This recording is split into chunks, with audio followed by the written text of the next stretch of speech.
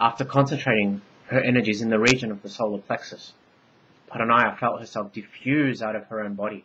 At first, the schism incited a sense of disorientation, of dizziness. She was gyrating, spinning around and around in circles at the speed of light. This was closely followed by an ululation that came from somewhere beneath her. It jolted her out of the inert position and shuttled her skywards. Her disembodied consciousness floated upwards and expanded outwards like helium gas. Before long, her personal energy field was hovering above the mountain temple, like a bulbous cloud. Witnessing the slab of gypsum, the precise moment it tore away from the roof and landed on the three bodies inside, one of which was still in a state of suspended animation. What happened next was rather puzzling, as if she'd somehow slipped through a mirror, walked through a time warp, or been sucked through a black hole even. She was zapped through mountains and deserts of iridescent dust to the heart of an amorphous black heap, Stygian darkness that started off as a three-dimensional spherical hole, but then began to divide and further subdivide into tiers of hexagonal cells, like those of an earthly beehive. In fact, when Paranaya pondered the reality of her situation, it were as if she'd become entrapped inside the polygonal chambers of a colossal beehive, which were boundless and whose being extended as far back as the primeval time of origin, if not further. An ethereal quietude overlaid with rapturous vibration reverberated through the darkness, stirring within the intuitive feeling that this was her eternal home. Paranaya was by nature a curious being, and so the desire and temptation to pry deeper into the hive and discover truths about the cosmos were ever present. But as she was to find out, something stood in the way of that understanding. Another presence wanting to make itself known suddenly materialized in the Stygian darkness.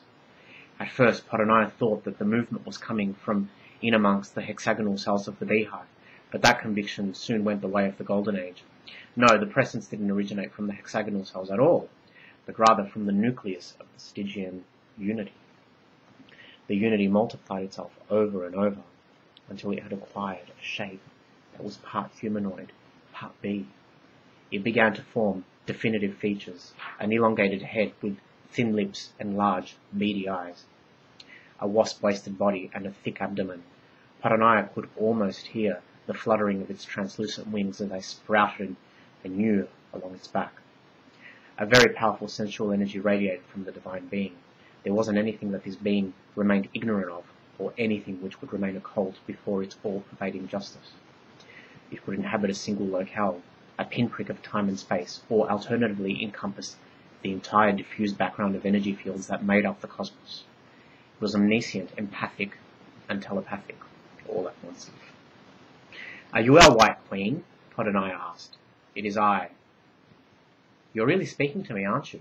Paranaya was elated. We speak the same language, Paranaya. We have discovered the moon milk, Paranaya said, and the moon milk has finally opened the portal which leads to you. I know. Of course you know. Forgive me.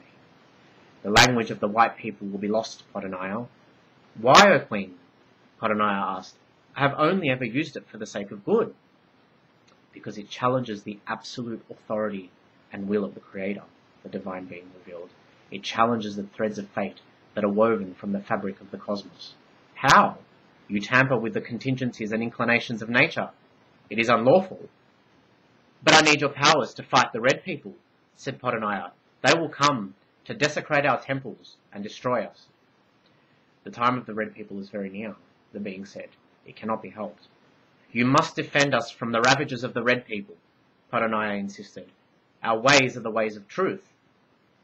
They are only half the truth, the being revealed. Blood sacrifice will not influence the heavenly order. If anything, they defile the sanctity of created life. O great mother, Paranaya sighed, we have been cursed. Nothing is ever accursed in nature, the divine being said. It merely runs its course and fulfills its destiny. I too, O queen, must return to fulfill my destiny, Paranaya said. My people need me. You cannot return to earth, Paranaya, the being revealed. Why not? Your body has been rendered too weak to contain your life force. You mean I'm dead? Paranaya asked. If you choose to regard it as such, the divine being said, you can choose to return, but the plight will most likely be an unsuccessful one. What do you propose I do? You must let yourself go, the being instructed. You must forfeit your personal history, your memories, your, and unique vibrations, your very life force to me. You must beach yourself upon the shores of pure consciousness until the seasons change again. There will come a time when the stars will call for the conferral of the lunarized powers upon the reddened peoples, powers which will be forgotten completely. That is when you will be allowed to descend, to return, to incarnate. Paranaya remained silent. If you return, you will suffer the second death, non-existence, the divine being revealed. You will not be able to diffuse back through the portal. Fine, Paranaya said. I accept your offer. You agree with all your being? With all my being, Paranaya repeated. So let it be done. Paranaya resisted every attempt to hold herself together. Bit by bit, the shards of her personal energy field broke off from her nucleus and were absorbed by the wasp-waisted divinity's self-generated vortices. It wasn't long before she was one with the noetic matter of which the entire cosmos had been hewn.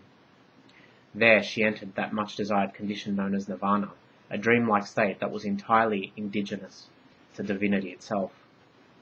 In time, she would incarnate to deliver the golden logos of the goddess, to spur human beings to the remembrance of who they once were and what they could become. Thank you.